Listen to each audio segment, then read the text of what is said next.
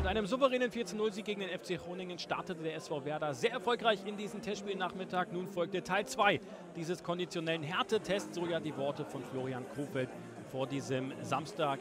Nachmittag. Wir springen in Minute 25, denn hier gab es ein erstes Mal richtig was zu sehen für die anwesenden Zuschauer. Der junge Gruev mit einer absoluten Top-Chance, das Ganze aber überragend rausgespielt über Gruev, Gebre Selassie und am Ende Niklas Füllkrug als Bande.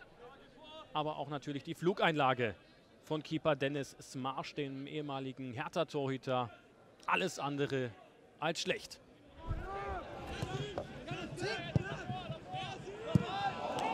Der Zweitligist über Kapitän Marvin Knoll gefährlich. Aber Torhüter Hessler muss da zum Glück nichts eingreifen. Den vergibt Marvin Knoll, der ehemalige Regensburger, etwas leichtfertig. Tempo! Tempo! Rashica. Fehlplatz für Rashica. Traumtor.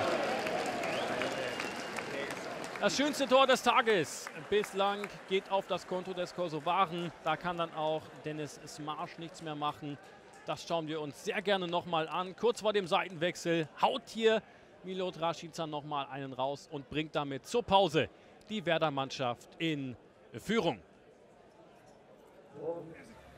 Aber auch das gab wieder der Mannschaft Auftrieb. 57. Minute, eine herrliche Kombination. Selke diesmal als Vorbereiter für Max Jägerstein. Eine herrliche und artistische Einlage vom Mittelfeldstrategen.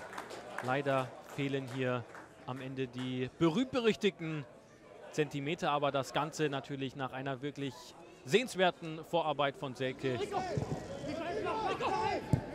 Zum Auftakt der Schlussphase dann nochmal der FC St. Pauli und auch nochmal Keeper Hessler. Kann hier den Schuss von äh, Stürmer Dosun noch richtig gut parieren. Der war nicht so einfach zu halten. Minute 78, nochmal Selke. Er wollte sein Tor unbedingt. Aber wie schon zum Auftakt der zweiten Spielhälfte, so scheitert er auch hier leider am Außennetz. Das Ganze auch gut eingeleitet mit dem Steilpass von äh, Yuya Osako. Es war grundsätzlich eine ordentliche zweite Spielhälfte vom SV Werder Bremen. Es war auch schon die letzte Szene in einem durchaus interessanten Testspiel, aber eben auch in einem schwierigen Duell mit dem Zweitligisten aus St. Pauli. 1-0 der Erfolg für Milot Rashica und den SV Werder Bremen. Damit bleibt die grün-weiße Mannschaft vom Osterdeich auch im fünften Testspiel unbesiegt.